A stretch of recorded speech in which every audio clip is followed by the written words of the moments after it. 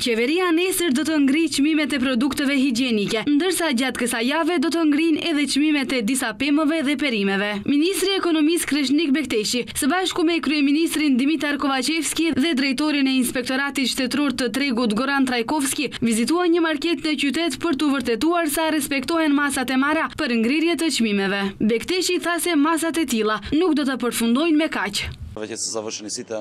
Sot ekipi im po punon, me siguri çmimet e më shumë se pesë gjashtë produkteve do të ngrinë gjatë kësaj jave. Jemi në pritje të analizave nga Drejtoria Doganore për çmimet e importit të tregtarëve që merren me pemë dhe perime për të parë se sa është diferenca në pjesën e marzhës që të mundemi edhe prodhimet që importohen t'i ngrimë. Kryeministri Dimitar Kovaçevski duke iu përgjigjur pyetjes së gazetarëve për dallimin mes tij dhe ish-kryeministrit Nikolla Gruevski, pasi atij iu shfaq një fotografi e tij duke vizituar një treg dhe duke kontrolluar çmimet, tha se sheh një ndryshim shumë të madh dhe potencoi se vazhdimisht janë prezent në tregje për të parë se sa respektohen vendimet e qeverisë. Vij për herë të tretë në tregje të ndryshme.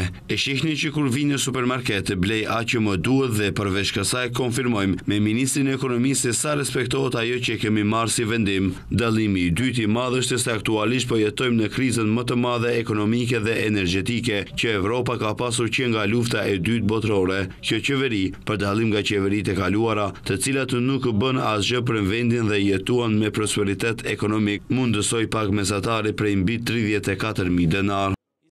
Drejtori i Inspektoratit Shtetëror të Tregut, Goran Trajkovski, tha se mospërfillja e çmimit të ngrirë të bukës prej tridhjetë e tre denarë Pesha joadekuate, mospasja e të paktën tetëdhjetë për qind e produkteve në rafte, janë vetëm disa nga shkelje që Inspektorati Shtetëror i Tregut i konstaton në terren gjatë zbatimit të kontrolleve. Ai theksoi se emrat e kompanive që kanë kryer kundërvajtjet do të bëhen të ditura por pasi të kenë përfunduar procedurat për to. Emrat e kompanive që shkelin vendimet e qeverisë do t'i them kur të mbarojnë procedurat. Emrat nuk do të bëhen të ditur sot për shkak të kompleksitetit të rasteve. Urdhërpagesat janë duke u lëshuar dhe nuk do t'i them emrat derisa të përfundojë rasti, por pas kësaj.